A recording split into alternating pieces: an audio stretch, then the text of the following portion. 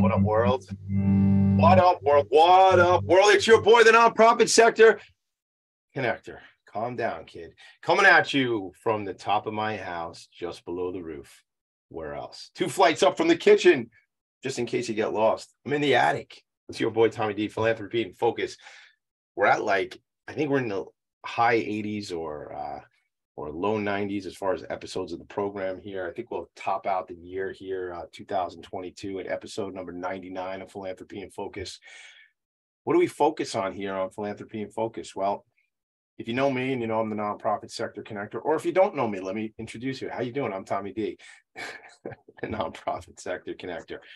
And what do we focus on? We focus on telling stories with nonprofits. We focus on bringing opportunities to share what nonprofits are doing and two things, as I always say, tell their story and amplify their message. And that's become my mission. It's become incredibly important to me to bring on a nonprofit leader each and every Friday morning to have a conversation, have a conversation about the impact that the organization is making, have a conversation about who they serve, how they serve, what do they need. In this the next two weeks, the, today and next Friday, are are really special in the calendar of philanthropy and focus because the two organizations that we're recognizing and speaking with organizations that I am rather well connected to. Today, my friend Alison La Ferlita is here from the Nonprofit Resource Hub. I was part of the founding team and I'm part of the group that really uh, keeps this organization going and, and I'm involved with a lot of conversations about the growth of the organization. And next week, Alison and my friend Ken Cerini will be here from the New York City Imagine Awards and originally the Long Island Imagine Awards, which is itself a nonprofit organization. I serve on both of those committees. So kind of a home game next couple weeks. We're, we're we're home. We're we're off the road. You know, like in uh, NFL football or, or baseball, I travel around. It's going to be real Long Island focused, New York City focused. So really, Alison, first of all, I have so many things I could read about you. Um, I will read some things, but I always like to start this way. Welcome to the show. And I you're not really in the attic, but welcome virtually to my attic. What is going on? Good morning. Thank you so much, Tommy, for having me on today. I really appreciate it. Uh, not only are you a dear friend and a colleague, but now you're hosting. So thank you fun. It's fun. I welcome you to the show. Welcome to the show. Welcome. I think that's um. I think it's from Shrek. Welcome to our world. Welcome to our world. It's not you know very impromptu. Do I sing here on the show? It's not planned. It just sort of happens that I start singing. So uh, today apparently it's one of those days where I might sing throughout the show. We'll see how it is.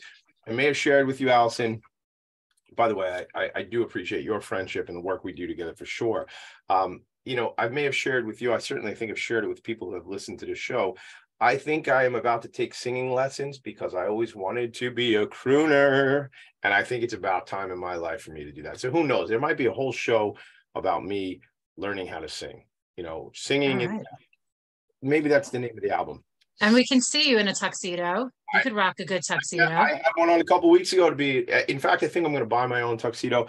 I apologize to all the people out there who are in the uh, tuxedo business who sell tuxedos or rent tuxedos. But I found this little thing, Jeff Bezos, although the stock is down, I was just talking to my wife earlier today.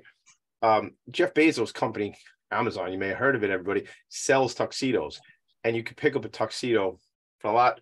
You could pay it off like half the price of what it costs to rent a tuxedo. But we didn't come here to talk about tuxes.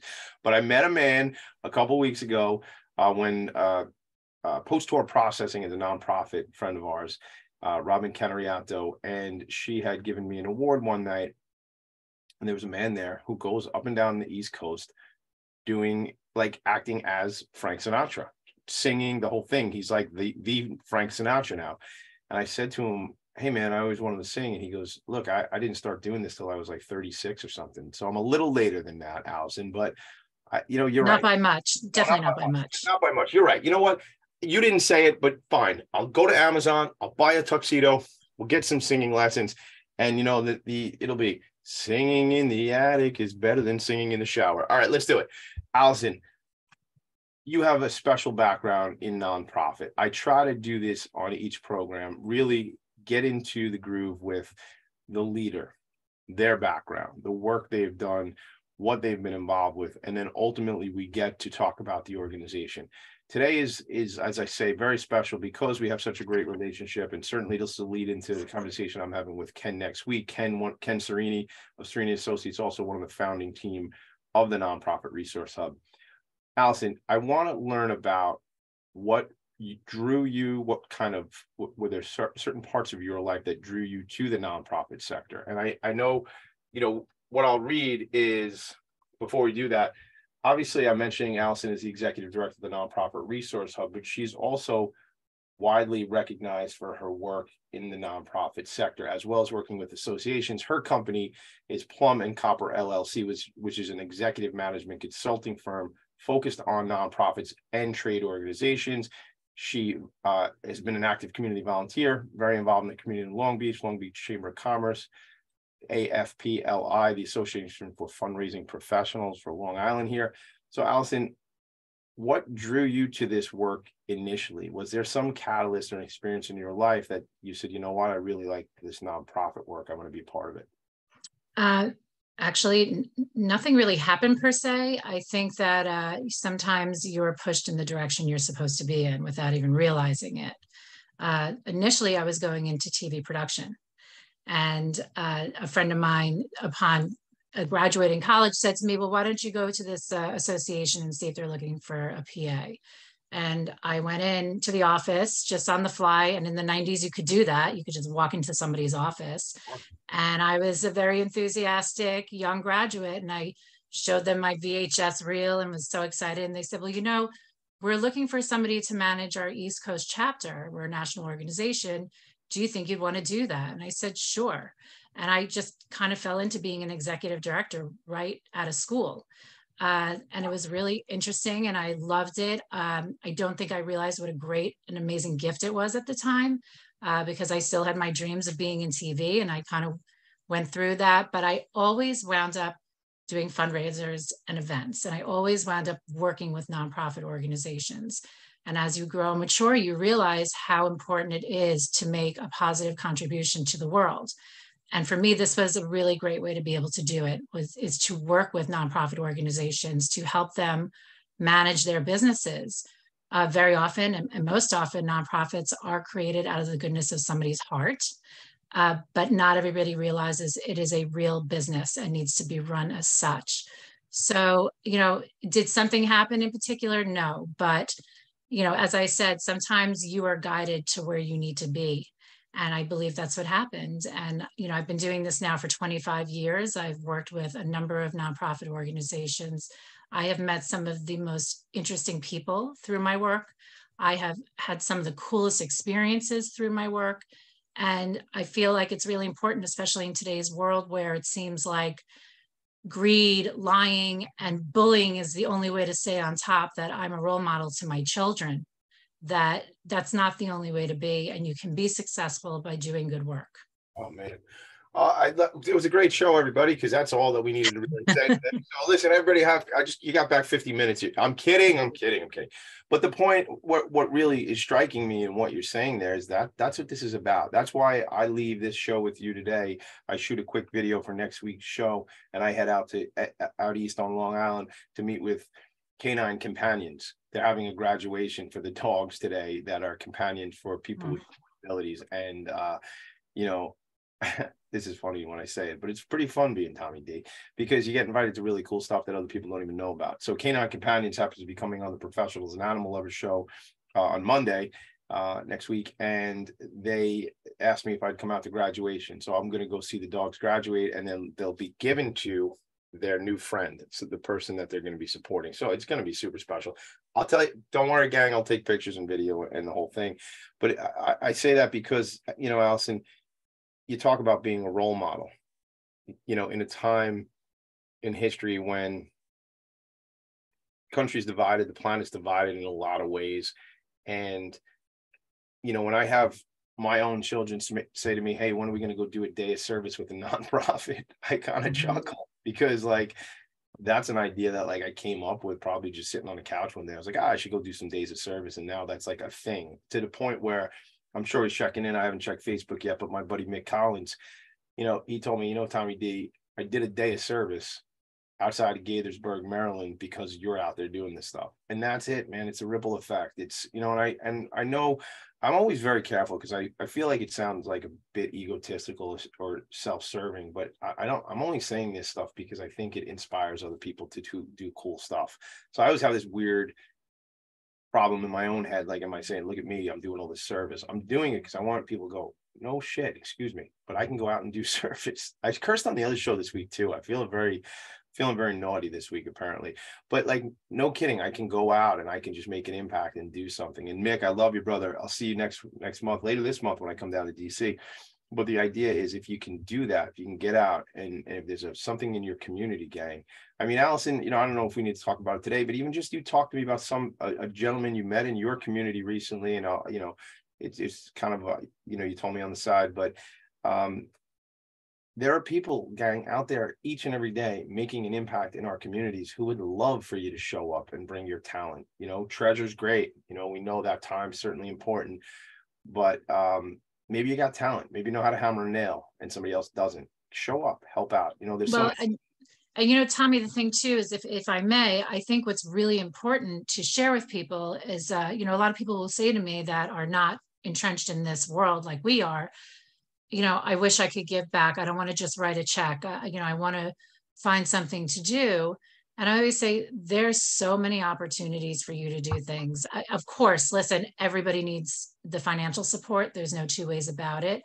But when you're actually there doing the work with the people, shoulder to shoulder, meeting the recipients of the mission of whichever organization it is, it touches you in a very different way than it does just to write a check um, you know, you spoke about the Imagine Awards earlier. Being in a room filled with people who has made who have made it their life's purpose to help this world, and they they come from so many different uh, various backgrounds in the nonprofit world. You would never feel better. I mean, I I can't imagine even leaving the Oscars makes you feel as good as you do leaving the Imagine Awards because you know the people are there to do the work to improve this world. Yeah, all due and, respect, if there is any due respect to Hollywood, um, that ain't even the same thing. you well, know? you know, it feels good to go to the Oscars. I, I, I wouldn't lie about I've that. Never been. I've never been. I don't know. Maybe I, I don't know if I'd fit in, even with my Amazon tuxedo. I'm, I'm sure something tells me you would be just fine. Hey, hey Tommy D, who are you wearing? Amazon. that would be very cool and very unique. That would but, be. You know, I think that people find, think that um, you know donating their time is it, they're required to do so much of it. You can donate as much or as little time as you can. Yeah. Anything that you do is going to be of a benefit to that organization. Uh, you know, you could be oftentimes, and a big struggle for our nonprofit organizations is to find board members. Uh, you know, board members have a very different definition today than they did 25 years ago when I started this. You know, back then it seemed like board members more wanted to be the name on the letterhead and they were people of influence. Boards have changed, they're working boards now. And that doesn't mean that you have to put in your blood, sweat, and tears but identify what your talents are and how you can contribute those talents to being on a board. You know whether you if you're an accountant they always need a treasurer. You know if you are in public relations they always need i mean marketing is huge for a nonprofit. If you have a pr person that's on your board or if you are a pr person that could just donate some of that time that is tremendous. And even if you're not in those types of careers think about what it is that you could do that you could provide support and assistance with we uh, we happen to have at the nonprofit resource hub. I mean, we have almost 250 amazing nonprofits in our roster. I will tell you that there's one in particular here on Long Island that's always looking for non uh, for volunteers. They're called Camp Good Morning. Um, all of our organizations are amazing and deserve volunteers. Yeah, you know, Camp, yep. yeah, and Camp Good Morning happens to resonate with me because I lost a parent at an early age, and I think, gosh, that would be such that would have been so amazing to have that service at that age they're always looking for people to just come out for a weekend to hang out with the kids and be a sounding board for them. You do get a certain level of training, of course, uh, but you know, there's always something that you can do. So if you're thinking about it, you also need to think about what resonates with you because if there is something, a mission that resonates with you, you're really going to, it's, you're going to feel good about the work that you're doing and you're going to feel connected to what you're doing. 100%. We do have to take a quick break, but I just want to, I'm looking on Facebook on my phone because our buddy, Ken Cerini was given an award last night, and I'm trying to remember which award it is because I'm going to meet him next week because he's getting another award next week. But was it uh, it's oh, I think it was Vicky Schneps agency, uh, Vicky Schnepp Schneps um, Schneps Media. Schneps Media that gave Ken this award. I'm trying to look at. It. I'll I'll have it back. But the one last point I want to make real quick about that Oscars versus the Imagine Awards, man. Again, I joke about due respect to the Oscars, but look, these Imagine Awards applicants semifinalists, finalists, and winners are changing the freaking world. Are changing the world. I don't know how much the people out in Hollywood are really changing the world. Now, I'm not here to beat them up. It's not my job. My job is to shine a light on the nonprofit sector. So with it, it it's Ken Cerini's brainchild to have founded those Imagine Awards, which are such a special event. So being in that room, to your point, I was just in the one in New York City. People are crying because the world has changed because of the work these people are doing. So um, you're that's really next week's show. We're going to talk about the Imagine Awards. Oh, look at Kelly Cerini must be paying attention. The A-list award. Thanks, Kelly, for the text. Kelly Ann Cerini from Cerini and Associates. That's how this show works. I just put out, you know, my vibes to the universe, and people send me the information. Also, people pay attention and listening, and maybe it's just that too. All right, well, I want to talk about that difference in boards that you talked about when we come back, Alison. I really want to dive into the piece also about managing business, which is these are businesses. You and I know that these are not hat in hand charities. Hey, help us out. It's really a conversation of we are a business. 501c3 is a tax filing status, right? It, that's there. These are, you know, I have payroll, I have employees, I have benefits I have to pay, I have all these things, I have HR, finance I'm a business as a nonprofit. So we'll talk about that. And We'll talk about really how the resource hub, as it is called, the nonprofit resource hub provides that sort of information and webinars and training. We're way over on break, so we'll take a quick one. Dylan, take us to break. Alison and Tommy D, philanthropy and focus. Right back. Are you a business owner? Do you want to be a business owner? Do you work with business owners? Hi, I'm Stephen Fry, your small and medium sized business or SMB guy, and I'm the host of the new show, Always Friday. While I love to have fun on my show, we take those Friday feelings of freedom and clarity to discuss popular topics on the minds of SMBs today. Please join me and my various special guests on Friday at 11 a.m. on talkradio.nyc. Are you a conscious co creator? Are you on a quest to raise your vibration and your consciousness? I'm Sam Leibowitz, your conscious consultant. And on my show, The Conscious Consultant Hour Awakening Humanity, we will touch upon all these topics and more. Listen live at our new time on Thursdays at 12 noon Eastern Time. That's The Conscious Consultant Hour Awakening Humanity, Thursdays, 12 noon on talkradio.nyc.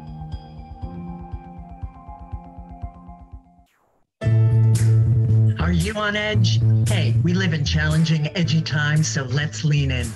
I'm Sandra Bargman, the host of The Edge of Every Day, which airs each Monday at 7 p.m. Eastern Time on talkradio.nyc. Tune in live with me and my friends and colleagues as we share stories and perspectives about pushing boundaries and exploring our rough edges. That's The Edge of Every Day on Mondays at 7 p.m. Eastern Time on talkradio.nyc. You're listening to Talk Radio NYC. Uplift, educate, empower.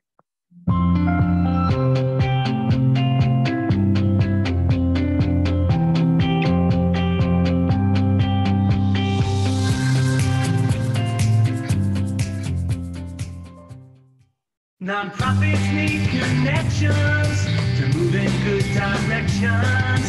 So cut through all the static Join Tommy in his attic. That is a request, man. Just come through the static. Join me in the attic. Now I got to say something because I realized after all these episodes, I keep inviting people to my attic.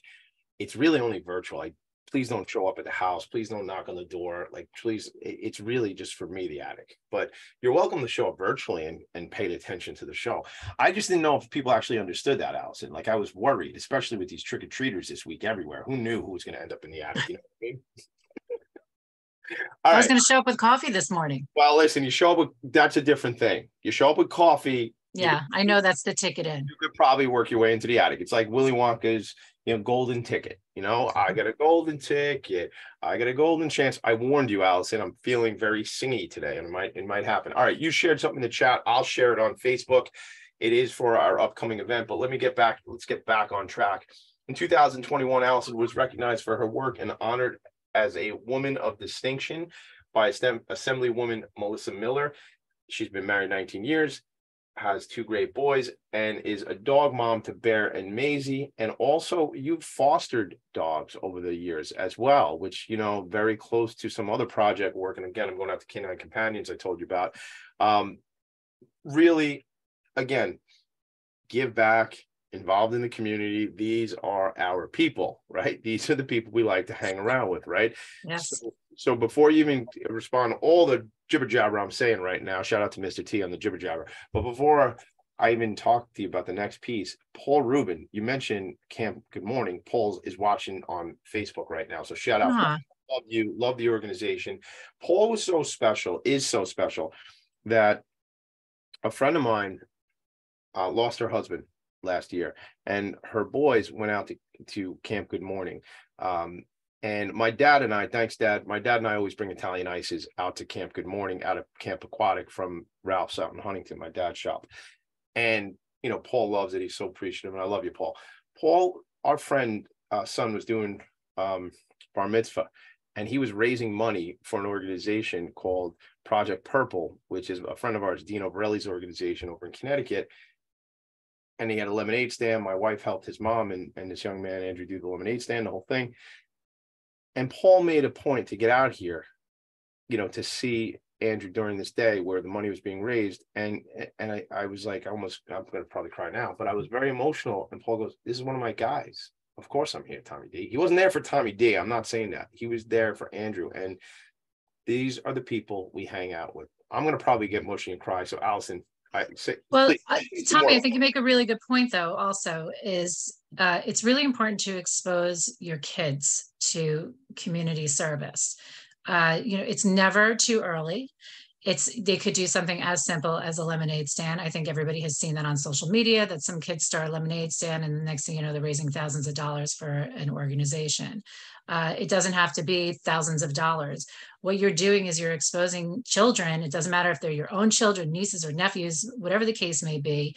You're exposing them to the fact that they are part of the community, and what they put into it is what they get out of it if you do this at a young age, it just becomes part of the fabric of their lifestyle. The habit, it's- right? It's, yeah. it's habit. That's what we do. It's We- just who they become.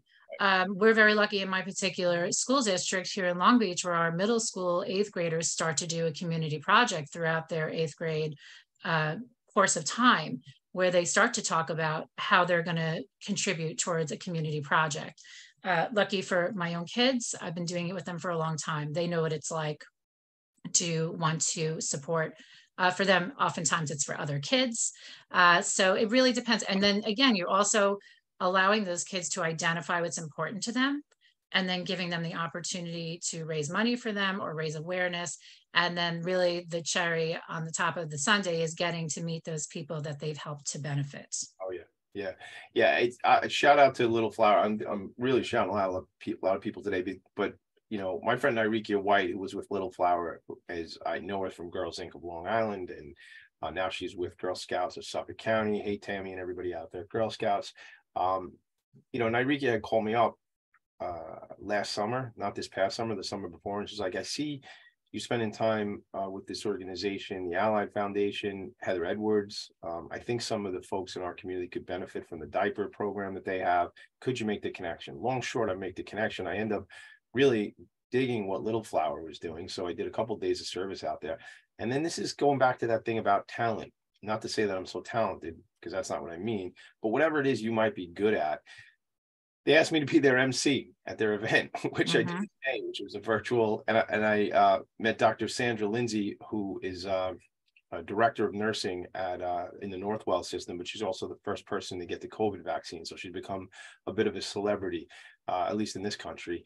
And she's been down to the White House a bunch of times. And I actually was asked to play golf with Dr. Sandra Lindsay, and it was uh, so it was two people who'd never played golf and two people who could barely play golf. And that was my buddy Brendan Levy and I. Good thing he's a good singer. He did the song for the show that, that you heard a couple minutes ago. But it's about the relationships, about the connections, it's about the friendships that we can develop through these opportunities. And much of that, Alison, I think you'd agree, is about choice. Where do we want to go? Who do we want to spend our time? with? You know, I mean, uh, my partners and I at the Vanguard, I was going to say Vanguard Insurance Agency, but we just rebranded Vanguard Benefits. And we made a decision a bunch of years ago, about seven years ago, that we wanted to really work with nonprofit organizations. We could have said hedge funds, could have said private equity, you know, we could have said anything, but we decided it was nonprofit. And the reason we said that is because of everything we're talking about. And you said something earlier about those of us who are in this work all the time. I don't work for a nonprofit. Sit on a handful of boards, sit on some committees, pretty involved. Um, but I really consider this our sector. And Ken tells us all the time, you know, the sector, the sector, the nonprofit sector. Um, I want to talk about the NRH and from a resource perspective, what we're providing as an organization. You talked about we're we're they're managing businesses, these leaders. I want to talk about that. What does that look like from a perspective of what have you found? And I know one of the things we have the program there is is group therapy for the executive directors. Is there a certain thing, again, without revealing anybody's confidence or or betraying anybody's confidence, are there certain topics that stand out for leaders that are pretty consistent that they need? And and from a business management perspective, talk a bit about what we can do with the NRH. Mhm. So the nonprofit resource hub, which I'm always appreciative of your mentioning us on your podcast, thank you. Uh, we are an association that bridges the for-profit community to help support the nonprofit community. We provide a ton of resources, a ton of education and services to the nonprofit uh, sector, whether you be here in New York or out in California. Uh, we are concentrated most here in New York, but the people we have, um, we're kind of split in terms of membership. We have our associate members; those are the people that provide services and goods to the nonprofit community, and then we have our nonprofit partners. Those are obviously our nonprofit organizations. Uh, the way that this was set up when you first started it was to really be considerate of those that wanted to join, be part of it, and how could we create this resource center to be trusted, well respected, to support the nonprofit organizations in the best possible way that we can. And um, over the course of what really is a short period of time, and if you remember, two years of it was COVID, uh, we have built something that is growing organically and more importantly, authentically. Uh, so we what we do is we have those uh, associate members, those that provide goods and services to the nonprofit community. We are incredibly particular about who is permitted in to be that representing member. And we are so particular because we want to make sure if we were to ever recommend somebody to a nonprofit, they know that they're going to somebody who's trusted. I've been an executive director for many different nonprofit organizations, and oftentimes you have an extremely limited budget. And if you hire somebody on that limited budget, you're really, and then you don't know who they are, you're crossing your fingers, hoping that they are going to deliver. Uh, we know that the people who are associate members with the nonprofit resource hub are going to deliver and support and we? I mean, more I- than likely go above and beyond. I know how we know because I'm involved in those conversations, but how do we know? Talk to me about that. That They go through, uh, our applicants go through a tremendous vetting service. You know, first they, they fill out a very lengthy application and then there are several interviews. Then it goes up to our board of directors. Our board of directors reviews the application. Sometimes we go back, more often than not, we do go back to the applicant with questions. And then the board eventually votes on, you know, whether or not this person is approved. Uh, for the nonprofit organizations, it was very important when this organization was formed that we are sensitive to all those budgets.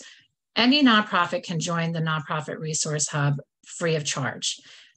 I would say 99% of what we offer in terms of education, webinars, anything to that effect is free to our nonprofit organizations, with the exception of this particular conference that we're doing in the city next uh, in the next two weeks, which we'll talk about uh, momentarily. Our associate members are expected to provide their own level of community service to our nonprofits, whether it be through educating through a webinar, whether it be through sitting on um, an Ask the Expert, where our nonprofits have a day a couple an hour really to call in one day a week and talk to the experts about whatever questions it is they may have pertaining to that topic.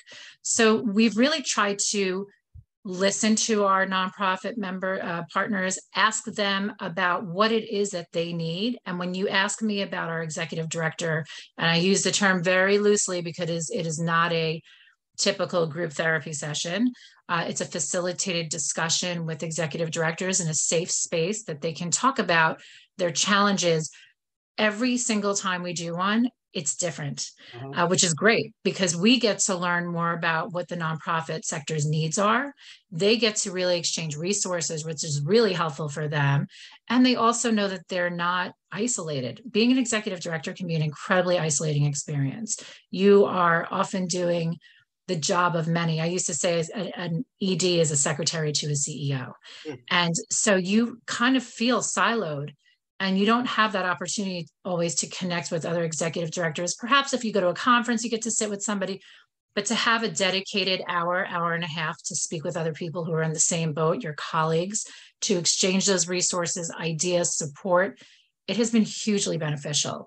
What we have found from it, I would say, if you're talking about um, trends that have kind of floated up. You know, every nonprofit always focuses on fundraising, and we always know that is a challenge. But aside from that, I would say our nonprofits really want to understand board development. They want to understand how it is that their boards are working now. We talked about how boards have changed over the past 25 years. Very important to them. How do they help onboard their board members properly so the board member is really educated and aware of what it is it, that's expected of them. So, you know, there are a couple of different, I would say, uh, topics that do float up every once in a while. Uh, and it really depends on the group that's there. We don't always have the same people on the sessions.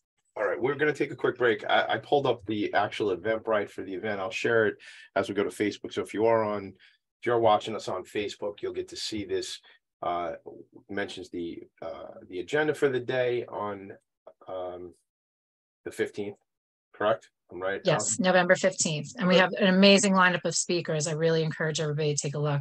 We'll show you that. I shared it on Facebook. I'll share it when we go to break. Uh, when we come back, let's dive in a little bit more around. First of all, you know, mastermind that term it's got thrown around so many so much over the years and it's become i don't know is it cliche? I don't know become played out i guess for for, for my vernacular what i would say. Um and i but i still believe in the concept. So um so i'll say there must be some sort of mastermind esque appeal to that those group therapy sessions right? It's a thing where they can really look towards each other and i'm sure there's a meeting after the meeting. They make friends they make relationships these eds and then they move on and they probably go elsewhere together and have these conversations more in depth because that's what we do. We're human beings and it's about developing the relationship. So um, all right let's take a quick break. I'll share like i said when we come back maybe we go a little bit more into board development certainly as it relates to the conference and what some of those topics might be. How's that sound? Sure. Great. Thank you. I'll be right back. Are you passionate about the conversation around racism Hi, I'm Reverend Dr. TLC, host of the Dismantle Racism Show, which airs every Thursday at 11 a.m. Eastern on talkradio.nyc.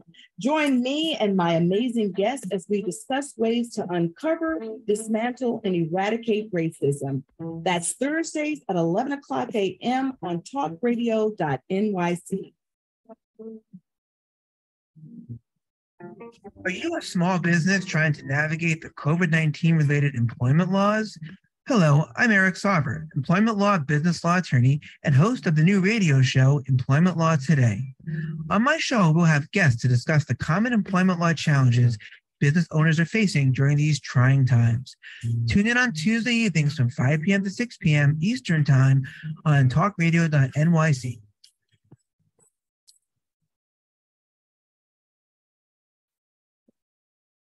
Hey, everybody, it's Tommy D, the nonprofit sector connector, coming at you from my attic. Each week here on talkradio.nyc, I host a program, Philanthropy in Phocus. Nonprofits impact us each and every day, and it's my focus to help them amplify their message and tell their story. Listen each week at 10 a.m. Eastern Standard Time until 11 a.m. Eastern Standard Time, right here on talkradio.nyc. You're listening to Talk Radio NYC at www.talkradio.nyc. Now broadcasting 24 hours a day.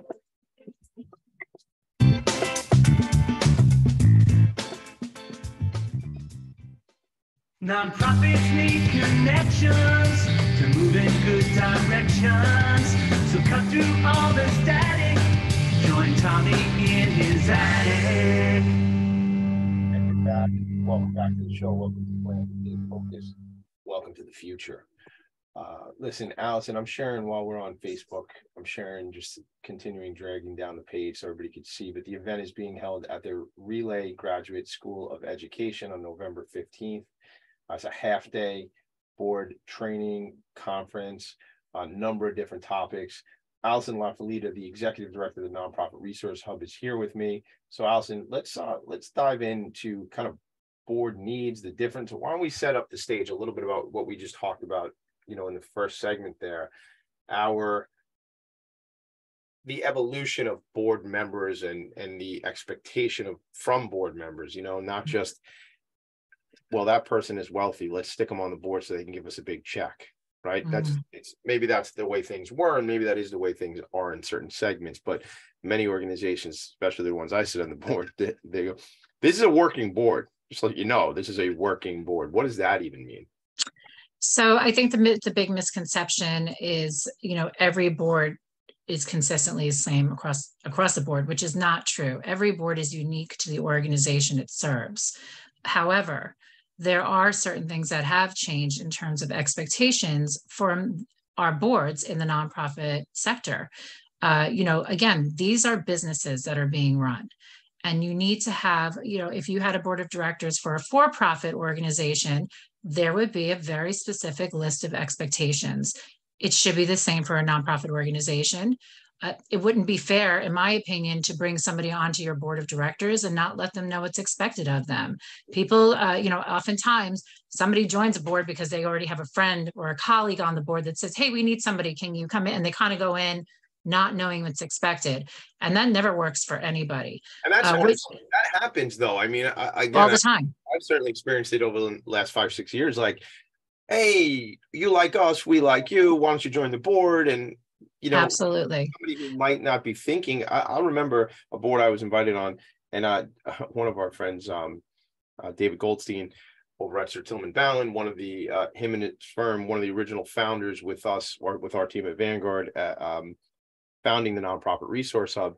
Um, David had mentioned to me many, many years ago, and he says it often that you know board members have liability and risk and and things like that. And you know, having learned this stuff over the years, and he's the attorney, I'm not, but having learned this stuff, uh, I remember being invited to join a, a board of a small organization. I'm still a member of this organ, the board of this organization, and I said I had reached out to the treasurer and I said, I know this is a small organization, but like, can I see the financials? Like, I want to understand what this is about. You're asking me to join this board. I have risk and liability. I need to know. I need to understand. And I mean, that's a that's certainly a question you you should be asking. Um, but there's a lot of questions you need to ask as a potential board member, and it's not just, hey, what's the give get? You know, how much do I have to, you know, donate or find? Uh, but really, what do you want? What do you expect? And are we even aligned? Like, some people come to me and say, "Oh, we'd love to have you on our board." I go, "Well, let's let's flirt a little bit. Like, let's, Mhm. let's, let's you know, yeah and i and i think that's a really important point that you bring up Right. because if the if it, it's not if it doesn't resonate with your heart it's really hard to put the work into it and it's not for everybody like you don't date everybody you know you date whoever it is that you connect with. It's the same thing when you join a board. But i always say you know it is up to those that are already in existence whether it be a board member the executive director director of whoever it is that's approaching somebody that you're very clear on what your messaging is when you're inviting somebody to join, that they understand what the mission is, that it means something to them, that you're asking them, you know, this is your skill set. We would we really need somebody with your skill set to serve. This is this is kind of what we're expecting from you. A lot of people will say to me off the bat, how many hours are expected? And it runs the gamut depending on what the board is that I'm working with. Sometimes maybe it's three hours a month. Sometimes it's 35 hours a week. It really depends. But you gotta Um, know, you gotta know going in like any other relationship Yes. as far as communication goes. And I'm not gonna say like I, I'm aces when it comes to communication, but I just think that we need to hold on. What do you expect from me? Can I do that? What do I expect from you? You know, there's some boards where um I think people join boards. I, I remember, so I just recently, actually, it's June that I finished my work with the Institute for Nonprofit Practice and a certificate program, and I made some great friends. Some of those I've introduced to you, Alison. And um, you know, I just sort of learned about the different things that go on within the boards and and really the different relationships and and I think it's critical to have that dialogue up front is where I'm going with this. Mhm. Well, and and Tommy, you also made me think too that in that dialogue, or even in identifying potential board members, one one uh, actual topic that does kind of keep coming to the surface with our executive director meetings is our bo- our executive directors are desperate and really want to diversify their boards. They want to do it in an authentic way. They want to do it in a in a way in which they're engaging people from all different walks of life. Listen, it's not an easy formula, right? Because now you're looking for people from various backgrounds with various skills, different walks of life. You know, it's a, it's a tall order to fill. Mm-hmm. And I would never say that that's something easy to do. There, but we're working through formulas, and this is something that we're going to talk about at the conference on the 15th. That is one of our breakout uh, panels is talking about diversifying your boards and how important it is. It seems like this is um, this has now become top of the list priority in terms of board development.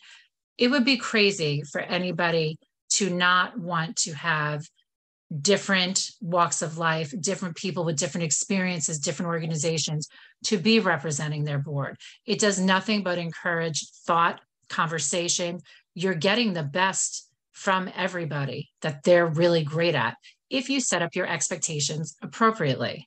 Does it always work? No. I mean, you know, that's why I come in a lot of times is to help an organization get through those processes, help them through that. Um, you know, but again, this is something that's going to be addressed at the conference on the 15th. Um, and I would say if that's something that's really important to you, it does not matter if you are a nonprofit executive or if you're a board member. or if you're a you- board chair, right? Yeah, you should really be thinking about this. right and often it falls on on the board chair you know to to strengthen their board right to bring on the quote unquote right people right? You know that that fill the need that the board specifically has. But to your point earlier you know it's it's also about bringing people to the board with diverse backgrounds but also just diverse thoughts you know Yep. you know like just because all that is like all that lived experience you know and it, it creates conversation that doesn't happen. And it you know if everybody comes from a similar background the ideas might be pretty pretty much They become stagnant. Yeah, they become a little stagnant. how does an organization grow without kind of that shot in the arm from somebody coming from a different direction. So some of the the topics so there's two different tracks. Um we have let me just kind of read you a little bit before uh, i can't believe we, we go to breaks more than we do show sometimes on this program. It drives me bananas. Arva Rice president and ceo of new york urban league will be our keynote speaker that morning uh, the event goes from 9 a.m. We start with continental breakfast and some networking and uh, goes through two o'clock. The first panel is uh, why you are not securing your donor dollars. So we have um, Matt Thompson, um, who will be the moderator on that group. Should we go through each one like this? What do you think? Well, I think if you're going to break, you may, may not have time. No, I know. So I'll do it really fast. So Mary Barnby from the American Red Cross, Darren Port from Powered by Professionals, and Ria Wong will be on that panel. My business partner, Ed Probst from Vanguard Benefits with David Goldstein, Alvarez Simonet, chairman of the board of the South Bronx Community Charter High School, and Ken Cerini will be doing a topic of strengthening and protecting your board. You still think you're going into TV? I like this. You you're like telling me, Tommy, you got to go to break. I, I just I just picked that up. I That's So- a producer in me. Time to go to love it. break. love it. I listen. I need all the help I can get. Uh, pandemic impact, real estate, HR, and financing for established organizations, nonprofits. That's Stephen Powers from Open Impact Real Estate. On that commit on that uh, panel will be Jim Krumholz of Real HR Solutions and another friend of ours, Andrea Cantor from. Uh, who's managing director over at Webster Bank? Webster Bank making a big commitment to the New York City Imagine Awards. Webster, we love you. We appreciate you. Uh, and then the, the panel on strategic planning and board development will be Michael Fleischer from Sterling Risk, my buddy, my pal, Christine Deska, co uh, co-founder and president of uh, nonprofit sector strategies. But she and I run the roundtables together.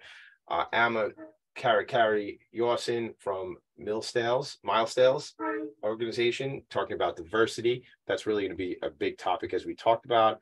And Ellie Reeder from Youth Inc. And then the final panel we'll talk about that you're moderating. We will take a break, producer, and we will come back and Okay. then talk about your panel. We'll be right back. Tommy D, Philanthropy in Phocus, Alison, Nonprofit Resource Hub. We're going to break. Hey, everybody, it's Tommy D, the nonprofit sector connector, coming at you from my attic. Each week here on talkradio.nyc, I host a program, Philanthropy in Phocus. Nonprofits impact us each and every day, and it's my focus to help them amplify their message and tell their story. Listen each week at 10 a.m. Eastern Standard Time until 11 a.m. Eastern Standard Time, right here on talkradio.nyc. In a post-COVID world, you may have many unanswered questions regarding your health. Are you looking to live a healthier lifestyle? Do you have a desire to learn more about mental health and enhance your quality of life? Or do you just want to participate in self-understanding and awareness? I'm Frank R. Harrison, host of Frank About Health, and each Thursday I will tackle these questions and work to enlighten you.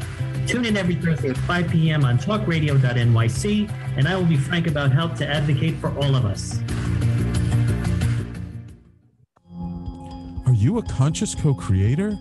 Are you on a quest to raise your vibration and your consciousness? I'm Sam Leibowitz, your conscious consultant. And on my show, The Conscious Consultant Hour Awakening Humanity, we will touch upon all these topics and more. Listen live at our new time on Thursdays at 12 noon Eastern Time. That's The Conscious Consultant Hour Awakening Humanity, Thursdays, 12 noon on talkradio.nyc. You're listening to Talk Radio NYC at www.talkradio.nyc. Now broadcasting 24 hours a day.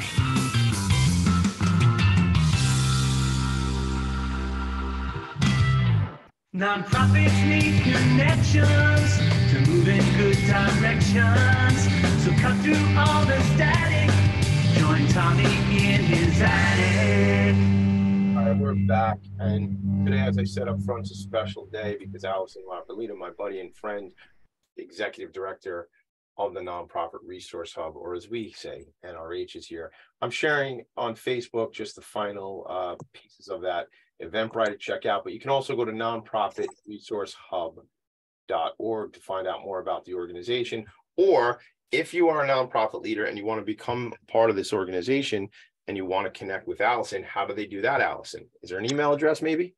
Uh, I would say if you do go to nonprofitresourcehub.org, you are always welcome to email info at nonprofitresourcehub.org. The application for a nonprofit is very simple, very quick. And if you become a member, you do get a member rate on tickets to the conference on the 15th. So it's free to be a member of the organization. Yes. By do by becoming a member, I get a discount on the actual tickets. Yes, and just so you know, also, Tommy, we were really cognizant about uh, trying to include as many nonprofits in our conference. So we kept the ticket price very low. Uh, it's super competitive compared to some of the other nonprofit conferences going on in the city. Our tickets run from 80 to $100, depending on whether or not you're a member. Perfect. All right. So again, you know, listen, folks, it's all about getting better. It's about sharpening the saw. It's about learning your trade. It's about connecting with people around you who have walked in your shoes, who have done some of the work you're doing, and then it's about collaborating. I like that word mastermind. You know, the Tommy D from two segments ago said it's an old school word, but I like that word. It's really about masterminding. It's about bringing people together and learning from each other and and supporting each other because what are we doing here? We're creating community. We're a bunch of people. We're we're a race of people, and that we should be supporting each other. And until the world has no ills and no needs, there will be a nonprofit sector. And my friend Ken Cerini says, Can you imagine a world without nonprofits? Well, we'd have to have a lot of problems solved because that's what the sector does solves problems and, and creates the uh, uh, the opportunities to fix the things that are broken and serve those who need to be served. So, Alison, what else can can folks find out about NRH, and what else do you want to share as an executive director of this organization and your experience uh, in others? I think it's uh, you know, I think it's really important if you are an organization that provides services and support to a nonprofit and you offer something really unique to this sector that you look into what we're doing uh, you know and consider joining. So a business we're speaking to business yes and part of the one of the really great aspects of being an, an associate member is that you are the only member that represents your category so, uh, you know, this is the way that we see it is that we are building an external team. Mm. So we may not all be under one roof together, but this, and I've run many, many associations for a long time. This is an incredibly supportive, uh, collaborative group of people. I have I hear it even when we're not in our meetings, how you're working together. And that's really important.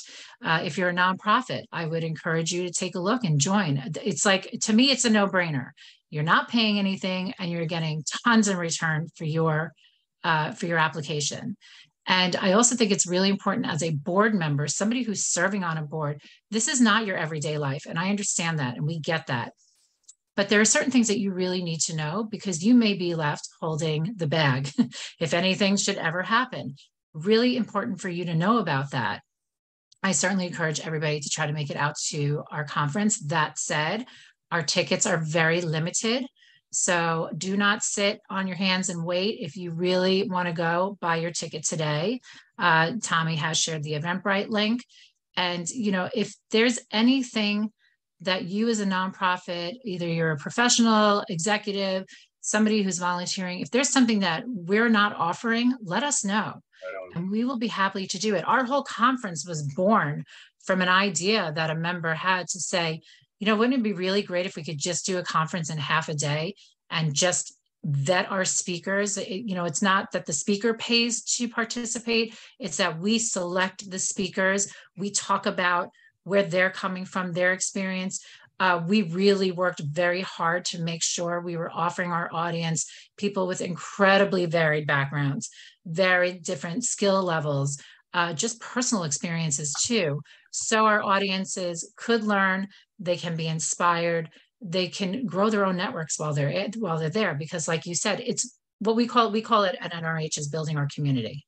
No doubt. Yep no doubt about community building. I mean, that's so critical. And and I, I, will tell you, and I've said it on this show before, and it's probably no surprise to people who know me, but the biggest asset I got out of doing the work with the Institute for Nonprofit Practice was the people I met, was the relationships. I mean, it was a, you know, there was probably four or five people that you and I spoke to personally about, hey, listen, here's this event that we have coming up. We really want to be uh, bringing best of breed in all aspects. And you know, shout out to my friends uh, Jamila Bergen, Maheen Kaleem, um, Michael Partis, um, Kofo, who's been on the show. All most of these people have been on this program with me, and and they're friends. And I know that certainly, gang, you can come to me if you need anything. But the fact that I was able to reach out to people who have other communities that are, you know, it's like those circles. It's the ripple effect. You know, Alice and I talk about a lot.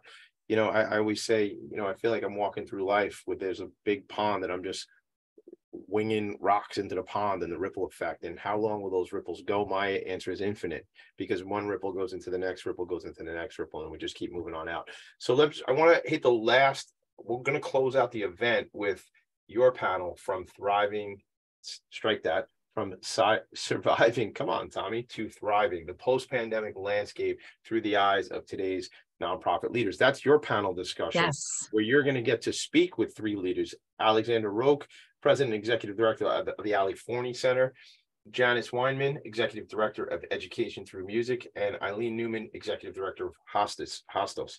So talk to me about what that session is going to look like. So that's, this is our closing session, and we thought it was really important for our audience to hear from their peers and their colleagues. Our three panelists come from uh, really very different organizations. Uh, They also have various uh, backgrounds and experience in the nonprofit world before they arrived where they are today.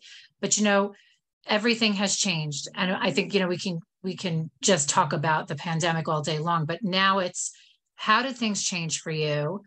How do you, what did you take from it that you think, hey, this really worked for us and we're going to keep doing this? What challenges are you faced with now? And I think when other organization leaders in an audience hear from their peers, oftentimes they are inspired by something. They hear about a resource that maybe they never would have heard about. And they get to find out, oh, you know, we're not the only people going through this but how do you work together? I will stress before we close collaborate, collaborate, collaborate. Do not worry about anybody tapping into your well of funding. Funders want to see organizations collaborate, they want to see you working together. It will be to your benefit in the end if you do. And not to mention, you're casting a wider net of the people you're going to help. Hundred percent. And we got to stop, in my opinion, fighting over the same dollars or this mindset that we're fighting over the same dollars. Let's have, you know, I think it's Professor Duckworth. Let's have a growth mindset and not this stale, like, I, let's think in terms of collaborate, collaborate, collaborate, get bigger and have this growth mindset. I want to give a shout out to the team over there at the Nonprofit Resource Hub. I'm looking at all your faces on my screen right now. My friend, the executive director, who's here with me, Alison La Ferlita, Kelly Ann Cerini, my buddy, my pal, Kelly. I dig working with you and all the stuff you do from a marketing perspective for Cerini, for um, the Imagine Awards, New York City and Long Island, and then obviously what we do together here with the Nonprofit Resource Hub. Christina Leno Tortoris, and then Trish Brett, who takes care of a lot of the bookkeeping through our relationship with the hub. So thank you all for that. Thank you to the founders of the, of the hub. Um, thank you, Alison, for being here. Thank, you. Welcome. Thank you, Mick Collins, for checking in. Paul Ruben from Camp Good Mourning. Thank you for watching us on the Facebook, and thank you for what you do, making it special for those children who've lost a sibling or a parent. And uh, listen, can you imagine a world without nonprofits? Well, I certainly can't because I live in this world. So next week on the show, Ken Cerini and I will be talking about the Imagine Awards. Alison, thanks again. All right. Thank everybody- you. This was great. appreciate you. Everybody check in, go to nonprofitresourcehub.org.org or um, you can always uh, send me an email, Tommy D at philanthropyinphocus.com. P-H-O-C-U-S is focus if you don't know that by now. And I'll answer any questions about the hub. Alison, make it a great day. Everybody make it a great day. Have a great weekend. See you soon. Bye. Bye. Thank you.